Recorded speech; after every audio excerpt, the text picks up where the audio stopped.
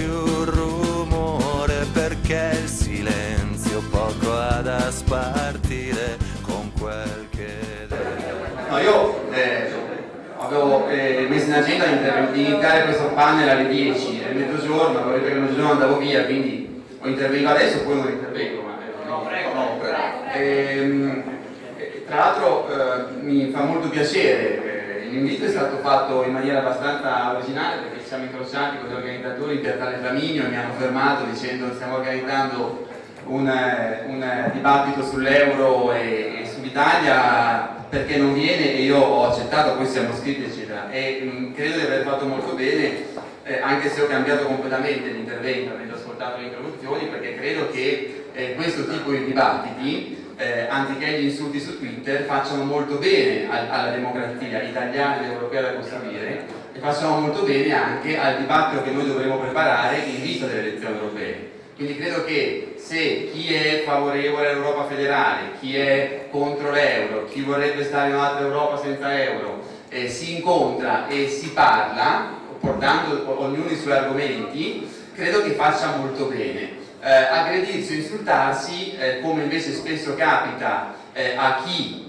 come me è un federalista europeo convinto quando eh, si incontra nel mondo virtuale a parlare di queste cose non fa bene per niente, non fa bene nemmeno a chi insulta perché gli viene un fegato così immagino e quindi bene, vostro, eh, bene la, vostra, la, vostra, la vostra iniziativa. Eh, io ovviamente ho diciamo, eh, tante cose da dire, ma cercherò di rispettare i dieci minuti eh, ehm, rispettando anche eh, la struttura che abbiamo dato a questo panel, cioè riferendomi alle introduzioni. Credo che io sono un po' un discassante delle introduzioni che sono state, che sono state fatte. E quindi parto dall'affermazione assolutamente legittima che io rispetto ma che non condivido eh, per cui eh, il sistema europeo il sistema europeo non questo sistema europeo non questa impostazione ma il sistema europeo elimina la democrazia ecco io credo che invece eh, il sistema europeo e la dimensione europea da costruire, che è possibile costruire, sulla quale abbiamo perso delle battaglie, ma dobbiamo continuare a fare delle battaglie, sia invece la dimensione dentro la quale recuperare una vera democrazia e recuperare una vera sovranità. Perché ritengo che, a parte che la Costituzione parla non solo di sovranità in senso nazionale, ma anche di possibilità di cedere la sovranità a livello internazionale.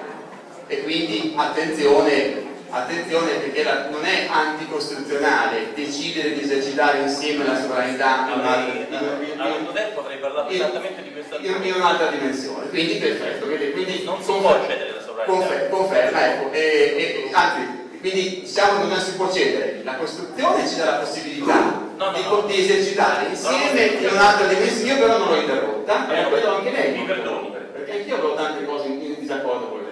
E poi le ripeto, se lei comincia a interrompere, mi rovina l'introduzione, ho detto dobbiamo fare un dibattito aperto e rispettoso. E quindi eh, la Costituzione dà la possibilità anche di cedere la sovranità. A me credo che sia molto meglio parlare di esercitare in maniera congiunta la sovranità, liberamente la Costituzione italiana dà la possibilità alla Repubblica Italiana di decidere di esercitare insieme la sovranità in determinati settori a livello, a livello internazionale. Sappiamo benissimo il lungo dibattito, articolo 10, articolo 11, io però aggiungo, aggiungo una questione, che è tempo di avere un dibattito nazionale su una clausola specifica dell'Unione Europea della Costituzione, perché non mi accontento più, e credo che questa sia la prima proposta che faccio, eh, dell'articolo 10 dell'articolo 11 della Costituzione e della giurisprudenza della Corte Costituzionale Italiana. Credo che sia arrivato il momento, come del resto altri Stati membri dell'Unione Europea hanno fatto, di inserire, e quindi di dibattere su quale clausola, di inserire una clausola sul rapporto tra la Repubblica Italiana e l'Unione Europea.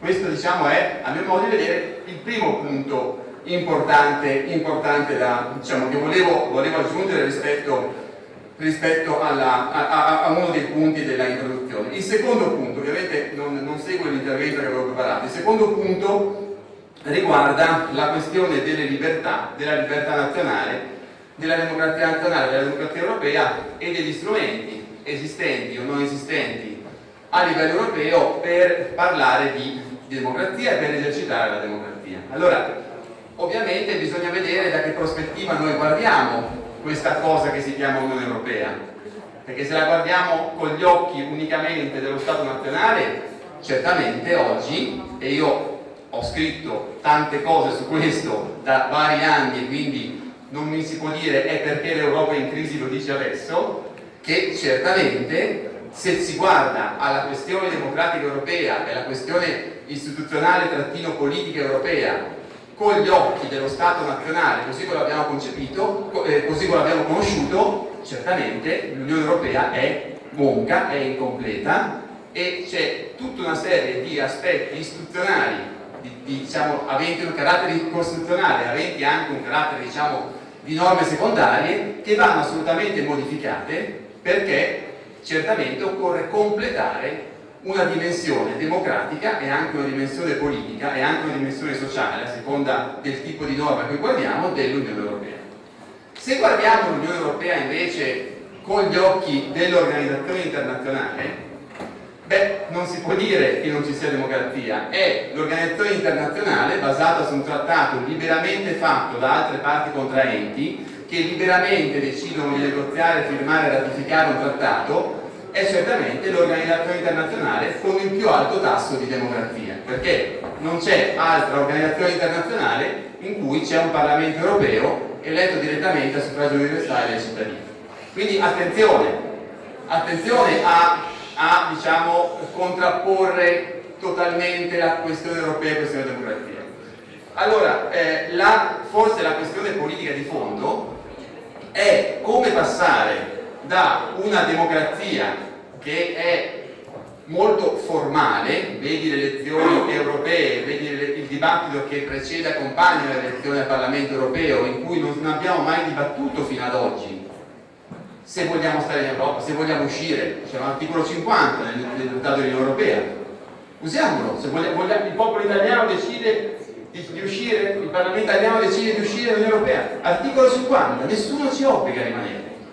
Allora, cerchiamo di dare vita a livello politico al dibattito, al dibattito sull'Europa. Usiamo le elezioni europee non per fare un test sulla popolarità o l'impopolarità de della maggioranza dell'opposizione, come sempre è stato fatto in Italia e anche negli altri paesi. Sempre elezioni di serie B, elezioni in cui si votava per le istituzioni europee ma non si dibatteva dell'Europa. Vogliamo starci? Non vogliamo starci? Ci, ci soddisfa questo tipo di Europa, un'altra Europa è possibile, io credo che un'altra Europa sia possibile e credo che questa debba essere, e questo debba essere l'oggetto questo debba essere l'oggetto questo debba essere l'oggetto l'oggetto del dibattito che dovremo fare alle, alle, alle, elezioni, alle elezioni europee, cioè dare, costruire la dimensione politica dell'Europa. La dimensione politica dell'Europa si, si, si, eh, eh, si, si costruisce attraverso un'assunzione di responsabilità da parte dei partiti politici, da parte dei sindacati, da parte dei movimenti dei cittadini, cioè occorre assolutamente mettere al centro del dibattito, al centro dell'azione politica, che tipo di Europa vogliamo e come completare, modificare, abolire, per me va, va, cambiata, va cambiata e completata l'Unione Europea che esiste. Questo dovrebbe essere, a mio modo di vedere, mio modo di vedere, l'approccio la, eh, rispetto alla questione, alla questione, alla questione eh, democratica, mettendo, mettendo in discussione anche la questione del ruolo del Parlamento europeo oggi e del ruolo dei Parlamenti nazionali oggi. Se noi prendiamo il Trattato di Lisbona e guardiamo il Trattato di Roma, vediamo un avanzamento enorme dei poteri del Parlamento europeo. Oggi il Parlamento europeo in base al Trattato di Lisbona codecide, co-legifera con i, ministri, con i governi e i consigli dei ministri sul 90% delle questioni, delle questioni di cui si decide a livello di Unione Europea. Ci sono due questioni ad esempio su cui non decide e credo che invece vadano assolutamente sottoposte alla, alla potestà del Parlamento europeo. Guarda caso la dimensione sociale e la dimensione fiscale però la dimensione sociale basta usare il trattato di Lisbona. C'è una clausola che si chiama passerella. Basta dire che le, le, le varie questioni di politica sociale possono, vanno da domani sottoposte una alla, alla procedura legislativa ordinaria. Cioè, governi e Parlamento europeo decidono insieme di fare cosa? Io ho sentito parlare di costruzione, ho sentito parlare dei trattati, non ho sentito parlare della Carta dell'Unione Europea dei diritti fondamentali, che ha un valore di, di costruzione.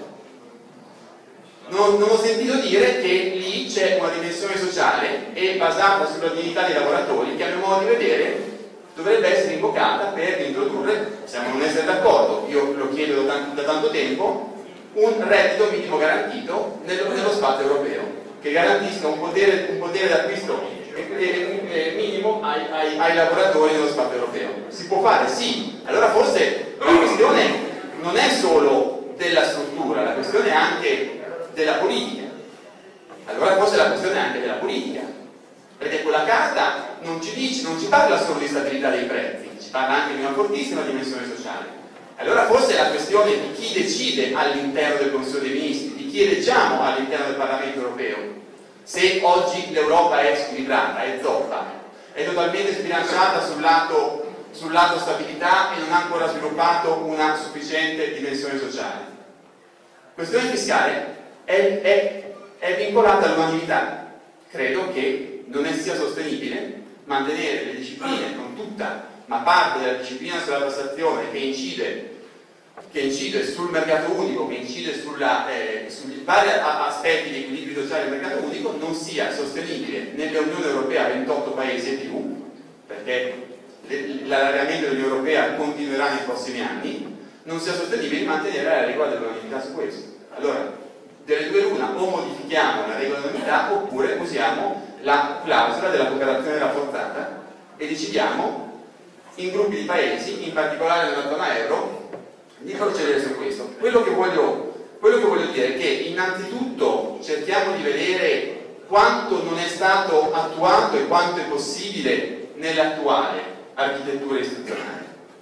E poi vediamo, e c'è molto altro, quanto c'è da fare in un'altra architettura, architettura politica, politica istituzionale. Io credo che ci sono tutta una serie di modifiche della dei trattati, modifiche istituzionali dei trattati, a partire, a partire dal, dai rapporti tra Parlamento europeo, Consiglio dei Ministri e Banca Centrale Europea, per arrivare a tutta una serie di politiche specifiche che richiedono una nuova revisione dei trattati.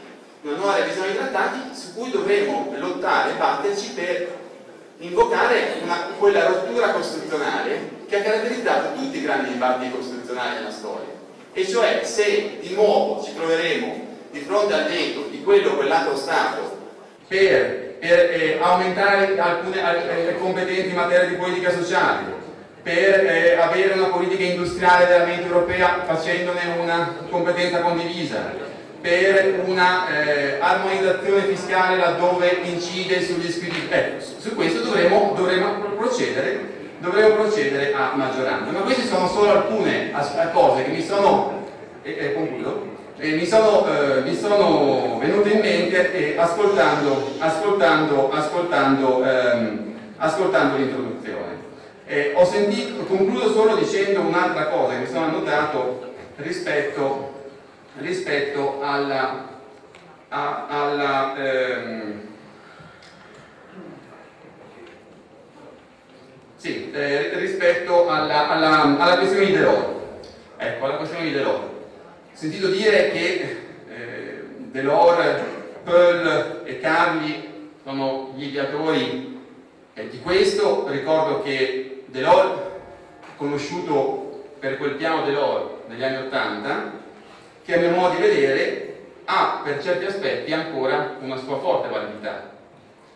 E eh, quella forte validità ce l'ha innanzitutto sul tema che è, diciamo, io lo dico così, non tutto il debito pubblico è negativo.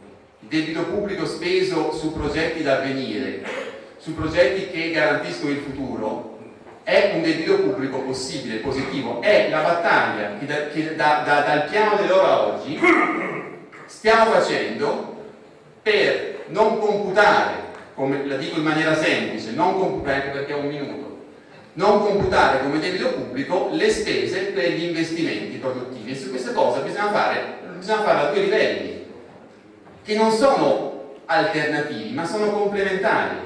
Livello, per quanto riguarda i margini di manovra a livello nazionale, occorre di nuovo fare la battaglia, soprattutto con i tedeschi, perché gli olandesi stanno cambiando idea. Su questo, sugli investimenti produttivi, bisogna rifarla, bisogna rifarla. Noi l'abbiamo persa, io quando ero in Commissione Europea con Prodi l'abbiamo persa.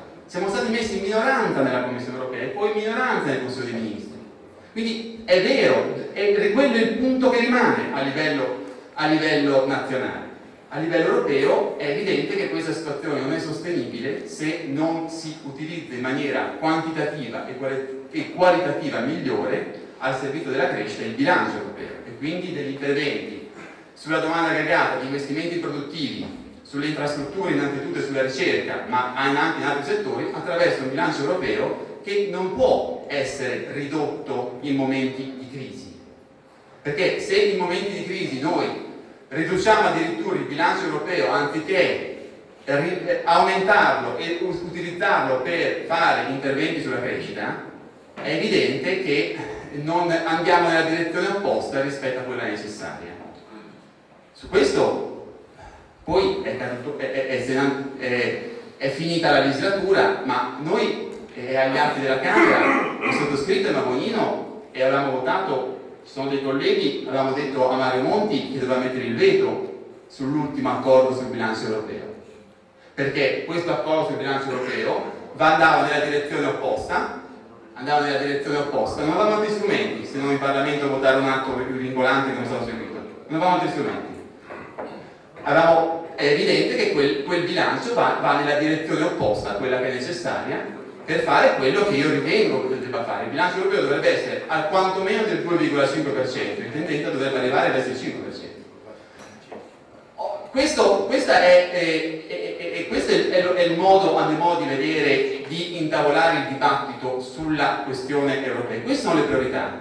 Queste sono le priorità. Angela Merkel ha detto se, si è sempre opposta. Vediamo adesso se di fronte, e concludo, di fronte al nuovo contesto politico che si sta eh, sta, sta, emergendo in alcuni Stati membri e emergerà dopo le elezioni europee, chi è, si è sempre opposto a dare più flessibilità e a darci la possibilità di fare una politica della domanda aggregata, soprattutto a livello europeo, ma dando anche più flessibilità a livello nazionale, avrà la forza di continuare a opporsi e, non, invece non riusciremo, non riusciremo a introdurre quelle modifiche nella struttura e nelle politiche che a mio modo di vedere sono assolutamente necessarie perché io credo che siamo in mezzo al quadro, ma io voglio arrivare dall'altra sponda, per me l'altra sponda è l'Europa politica federale, non voglio tornare alla finta sovranità nazionale. Vi ringrazio. Grazie. Quindi sì, eh, partiamo da trattati eh, europei e poi inevitabilmente